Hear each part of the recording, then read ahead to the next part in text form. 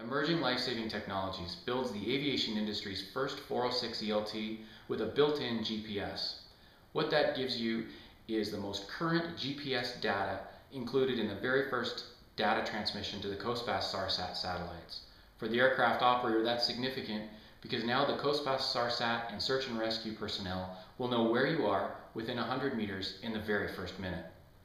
Key to the effectiveness of our system to get that transmission to the COSPAS SARSAT satellites is our antenna. Ours is a dual mode and dual polarized antenna.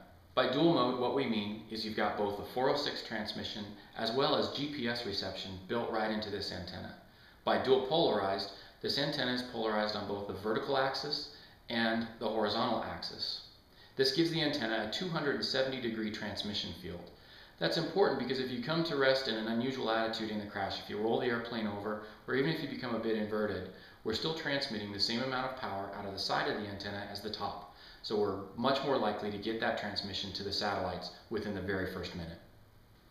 We are the first ELT manufacturer to build, test, and certify an ELT to the latest, more stringent TSO C126A.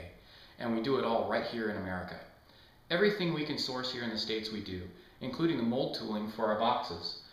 We could have had that outsourced, but we didn't. We had it made right here in Texas. We're a proud American company building a product that truly is made in America. We here at Emerging Life Saving Technologies wish you nothing but blue skies and happy flying.